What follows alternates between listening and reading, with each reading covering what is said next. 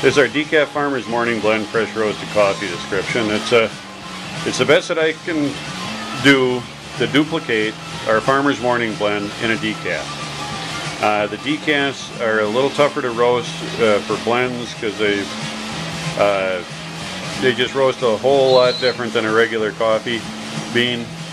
And uh, I, I tend to take these just a touch darker than I would a regular decaf just to get a little more of the roast flavor into the roast level.